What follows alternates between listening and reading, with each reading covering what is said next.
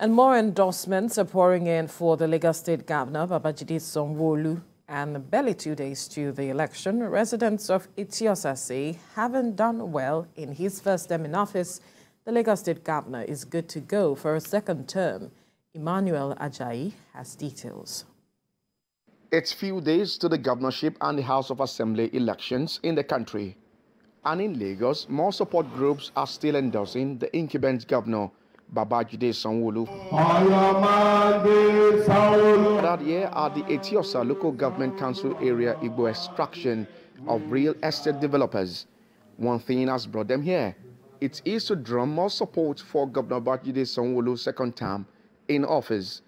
They describe the governor as a man of experience who has created a conducive environment for businesses to grow in the state.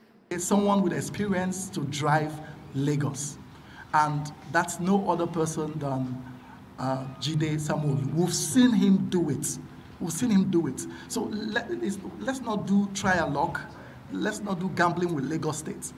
We wish to reiterate our support for Governor Babajide Sanwo-Olu, his leadership, his vision, and commitment to economic growth and development, making him the best choice for our state. Amongst all the candidates, he still comes out the best, the most qualified, the most experienced, the most dogged, and the most pragmatic. For this Lagos socialite, Pascal Okechukwu, also known as Chiprust, Lagos is Africa's fifth largest economy and the seventh fastest growing city in the world and cannot be left in the hands of inexperienced people. A lot of trends are out there on the media. A lot of people think uh, we, we can do this with paparazzi. No, this is government.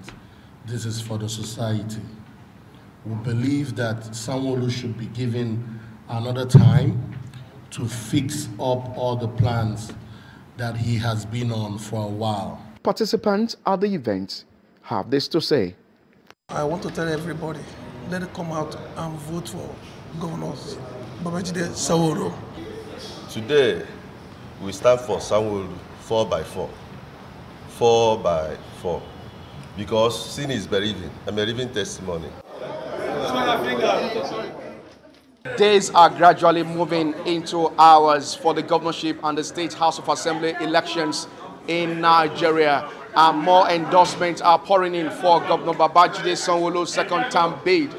Emmanuel Ajayi, TVC News, Lagos.